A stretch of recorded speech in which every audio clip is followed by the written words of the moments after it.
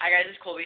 Um, okay, so I'm on my phone because my camera broke. A Bible fell on my camera and it broke the camera screen and I can't use it anymore. Well, I don't know if I can. I haven't tried, but it's really broken. So I'm just assuming that I can't use it anymore. Um, I can only do 18 seconds on a video because I'm on my phone and my phone really sucks balls. But um, yeah, so I gotta go. Bye.